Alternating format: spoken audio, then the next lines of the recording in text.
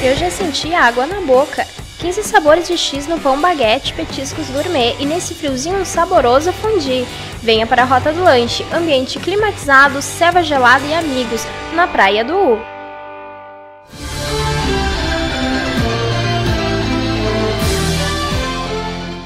Mais uma vez, passageiros de ônibus com destino à região Costa Doce foram assaltados na BR-116 em Eldorado do Sul. Conforme a Polícia Rodoviária Federal e testemunhas do fato, três homens armados entraram no coletivo de prefixo 170 da empresa Freders, que saiu de Porto Alegre às 18 horas e seguia para Camacuã, e anunciaram um assalto, fazendo um arrastão com os passageiros. Os criminosos, que estavam armados com ao menos um revólver, desceram do ônibus em Guaíba. A Polícia Rodoviária Federal Federal atendeu a ocorrência, mas os passageiros devem ainda procurar a Polícia Civil para o registro da ocorrência.